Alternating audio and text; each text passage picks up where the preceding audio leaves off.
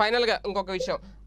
ఆరోగ్యశ్రీ విషయంలో అంటే వైఎస్ రాజశేఖర రెడ్డి గారు ప్రారంభించిన ఆరోగ్యశ్రీ తర్వాత మధ్యలో కాస్తంత సరిగ్గా అమలు జరిగిందా లేదా అంటే మళ్ళీ ఇప్పుడు మీరు వచ్చిన తర్వాత వైసీపీ హయాంలో ఆరోగ్యశ్రీ కానివ్వండి ఆరోగ్య బీమా విషయంలో తాజాగా కూడా నేషనల్ శాంపుల్ సర్వేలో కూడా ఏదో నెంబర్ వన్ ర్యాంక్ సాధించింది వైసీపీ అనేది. ఎలా ఫీల్ అవుతున్నారు?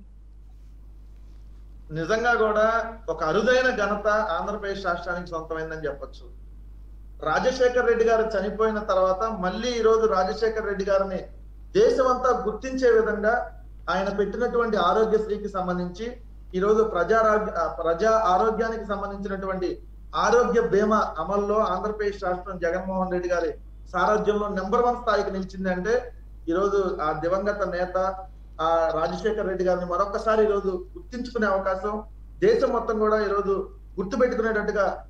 సర్వేలో నిలవటం అనేది నిజంగా కూడా చాలా ఆనందకరమైన విషయం అని చెప్పొచ్చు. ఎందుకంటే మొన్న చూస్తే మనం తాజాగా ఒక జరిగినటువంటి జాతీయ శాంపిల్ సర్వేలో ఆరోగ్యశ్రీ ఏ స్థాయిలో ప్రభావం చూపుతుంది అనే దాని మీద అత్యధిక శాతం మంది ప్రజలకు ఆరోగ్య బీమా వర్తించ వర్తిస్తున్నటువంటి ఏకైక రాష్ట్రం మొట్టమొదటి స్థానంలో ఉన్నటువంటి రాష్ట్రం ఆంధ్రప్రదేశ్ అని చెప్పి ఆ సర్వేలో కూడా రావటం. దానికి సంబంధించి సర్వే శాంపిల్స్లో దేశం మొత్తం మీద గ్రామీణ ప్రాంతాల్లో చూసుకుంటే ఎనభై ఐదు పాయింట్ తొమ్మిది శాతం మందికి అసలు ఎటువంటి ఆరోగ్య బీమా లేదు. అంటే ఒకసారి దేశంలో ఎనభై ఎనభై ఆరు పర్సెంట్ మందికి గ్రామీణ ప్రాంతాల్లో అసలు ఆరోగ్య బీమా లేదు. కానీ ఆంధ్రప్రదేశ్ రాష్ట్రంలో డెబ్బై ఆరు పాయింట్ ఒక్క శాతం మందికి గ్రామీణ ప్రాంతాల్లో ఆరోగ్య బీమా ఉంది. అంటే ఎంత డిఫరెన్స్ ఉందో చూసుకోండి. అక్కడ పద్నాలుగు పర్సెంట్ మందికి ఉంటే ఇక్కడ మనకు లేనిది ఇరవై నాలుగు పర్సెంట్ మందికి గ్రామీణ ప్రాంతాల్లో.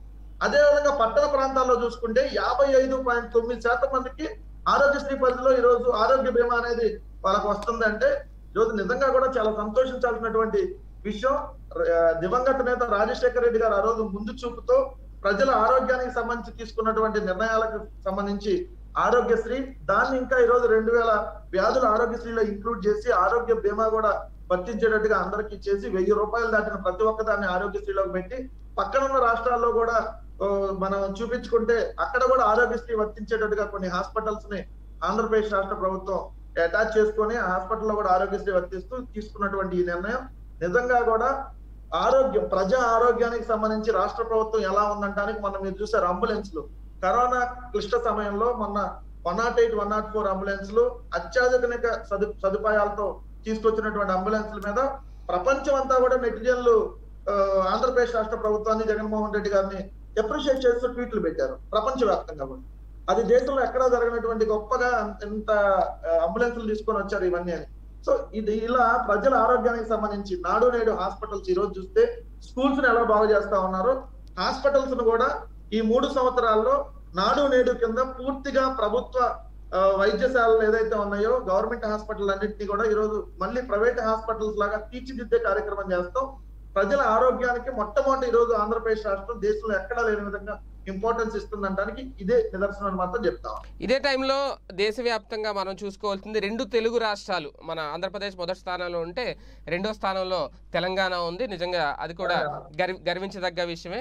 మిగిలిన రాష్ట్రాలు కనీసం దరిదాపుల్లో కూడా లేవంట. ఎందుకంటే మన డెబ్బై ఆరు పాయింట్ ఆరు ఉంటే తెలంగాణ డెబ్బై పాయింట్ మూడు ఎంత ఉంది. మిగిలిన అన్ని పదమూడు పద్నాలుగు శాతం. అంటే అసలు ఎక్కడ కనీసం యాభై శాతం మాత్రమే ఉంది. అవును. కనీసం యాభై శాతం దగ్గరలో కూడా ఎక్కడా లేవంటే నిజంగా ఇది కూడా చాలా అంటే చాలా గొప్పగా చెప్పుకునే కేరళలో కేవలం ముప్పై ఆరు పాయింట్ ఎనిమిది శాతం.